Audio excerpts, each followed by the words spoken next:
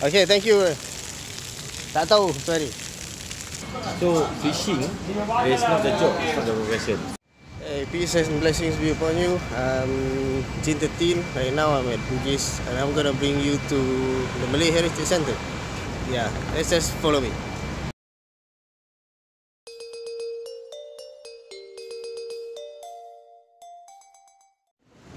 So right now we've reached the golden landmark Village Hotel.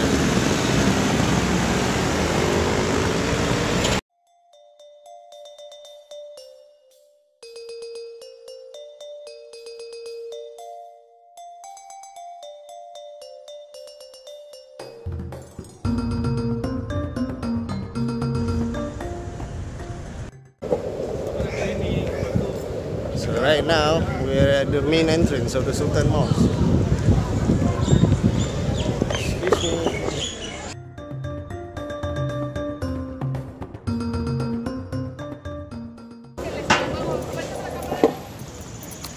Here we are at the Malay Heritage Center. Okay.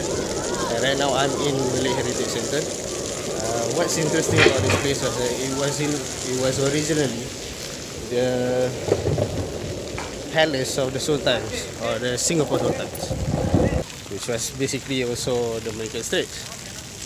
Okay, thank you. Tak tahu, sorry. Again, the security is trying to stop me from skating. I'm not really doing much, anyways. So, um, another interesting fact about this, or I mean, in relation to myself, was that my late grandmother used to stay within the palace grounds. And that's all about me. But let's actually look around about uh, what Tabarip Warisan actually has. So this is a space that they, uh, that I initially as I think was more of a courtyard kind of setting where the villagers and the kings would actually sit around and yeah have functions and all this. Now the function is that it was is gonna have they're gonna hold a lot of like small festivals like recently they just held this uh, Sirina Sirina Pas Pese which is basically uh, an exhibition and basically a cultural exhibition on the Bugis uh,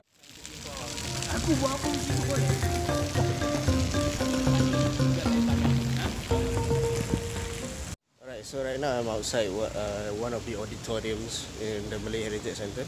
I'm yeah. Uh, uh, can I? Uh, may I know what's your name? Um, here. Don't. Do they hold like arts events mostly, or is it like very specific for like this kind of Training. trainings? Well, actually, basically a space uh, for the community as well. So we do have arts events, uh, festivals. In fact, the, the, the weekend that just passed, um, there was the a, a festival under our Singapore Heritage Festival umbrella. And in fact, um, I think Benedict Cumberbatch was in town. So one of our You heard it there. That basically there's a lot of events. They try to make they try to hold arts events or cultural events mm, almost every weekend.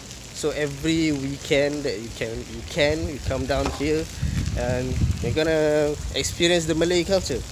I think if I get the chance, you're gonna meet someone who's gonna who's gonna inform you more about the Malay culture itself or the Malays itself. Uh, right after this, I'm gonna take a break. I need to sit down. I need some drinks. See ya.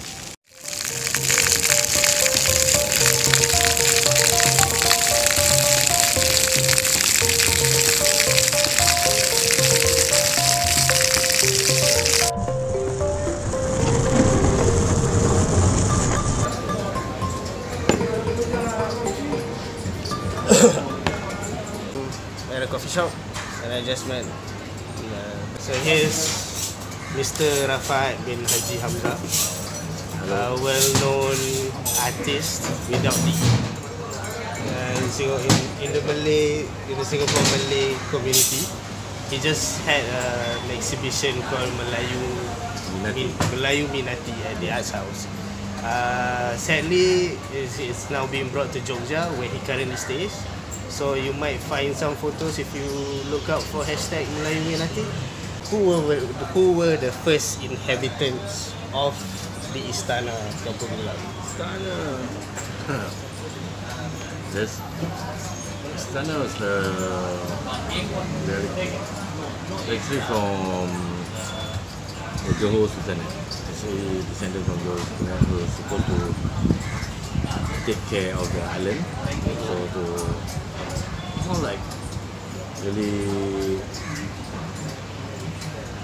make sure that there's nothing happens to Singapore, make sure it's, run properly. But then you we thought that when when when the British first came and they actually labelled the inhabitants in Singapore as uh, uh, they look at Singapore as a Malay, a lazy fisherman village, you know. But um, historically, because uh, these people living around around the shore of Singapore, they're not fishermen. They're actually uh, the likes of the navy or more of observation observation post uh, guard, coast guard to the Johor Sultanate.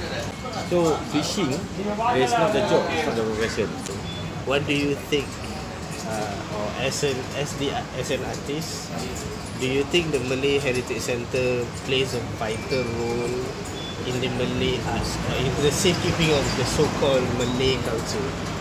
I think the, the Malay Heritage Centre uh, may seem small, you know, it's a, it's a, small thing compared to other other museums, National Gallery, National Arts Museum, and all that, uh, which, which falls under the Heritage uh, National Heritage Board. But as small as it is, uh, I think Malay Heritage Centre has been contributing a lot to retain the history and to, to share with people what uh, the Malay what the Malay cultures are all about, what the Malay arts are all about.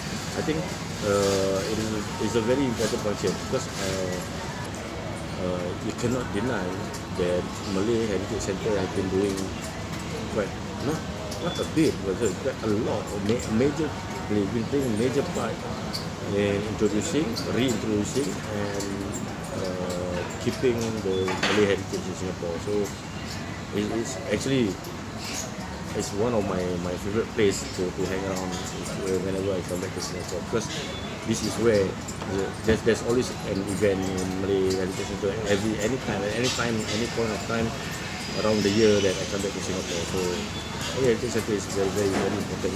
I cannot say that um, the Malay Heritage Centre uh, contribute a lot to my work, but the thing is the, the position that is there is here and it's a place that I can I will meet definitely meet my regular friends around this area because these are the areas that they is their playground.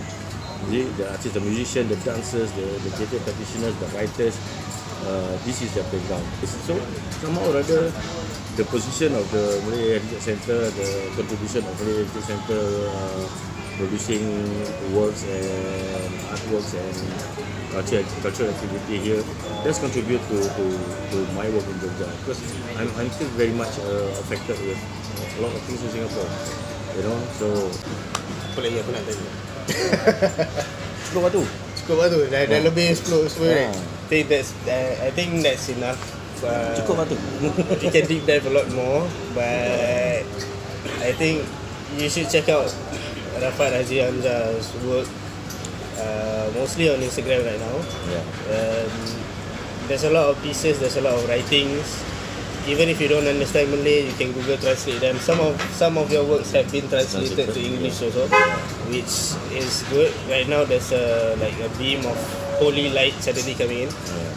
so, uh, may they yeah. may there so, be light in our life May there be light in our life. Uh, I think that's it. May peace and blessings be upon you. Uh, see you next time.